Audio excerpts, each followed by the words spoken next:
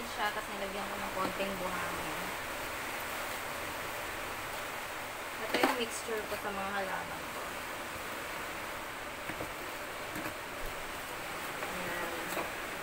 Meron na rin itong compost ng vermicast. Tsaka ng coco peat.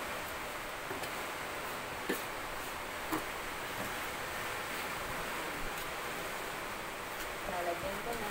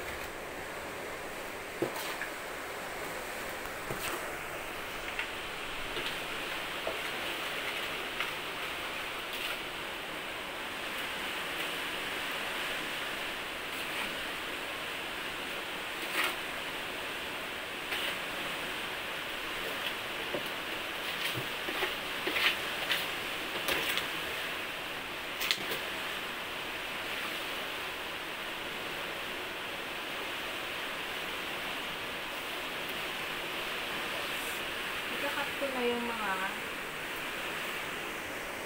dahon na pasiran.